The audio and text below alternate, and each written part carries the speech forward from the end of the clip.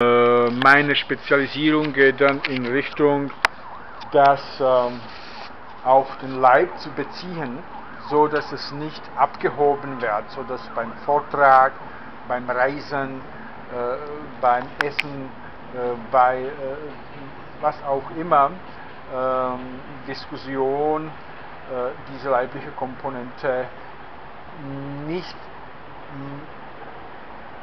übertrieben, sagen wir, eingesetzt wird als getrennt von der Seele und Geist, ja? also als eine Maschine in Fitness oder Maschine in der Arbeit oder Maschine äh, in der Mode, ja?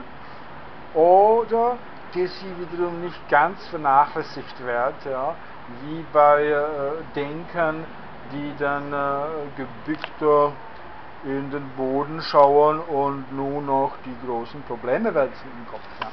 Also ich glaube, es ist äh, genug gesagt worden und ich wünsche euch, äh, das war, jetzt werde ich irgendwas stupiden Schluss machen. Es war schon schwierig für mich, das in drei Sprachen zu machen. Ähm, Leute, ich muss das abschließen mit dem Körper, sonst werde ich nicht abschließen können.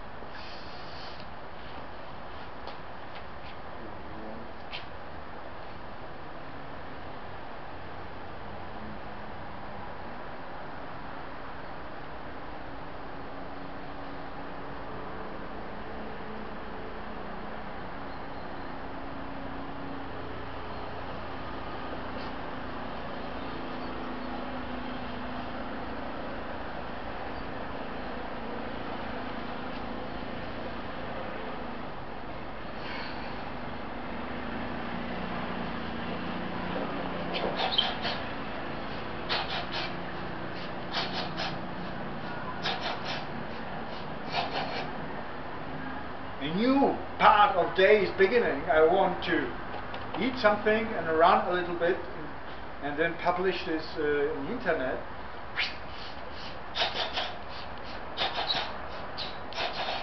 Končím, jo. Pěkně jsem se zapovídal, až jsem se do toho úplně zapalil, jo. Ale bavilo mě to, protože se mi podařilo vyjádřit to, co jsem chtěl. Potom jsem tady jako už měsíc a půl v té Praze se zúčastnil toho kurzu z fitness trenéra a viděl jsem, jak to všechno vypadá a někdy to na mě leželo, když jsem cítil, že tuhle tu kvalitu mm, potřebuje to tady kvalitu spojení těla a duše, jo, a vzdělání, jo. Tak, teď chci zaběhat, něco sníst a pak to dát do internetu, čili si dávám taky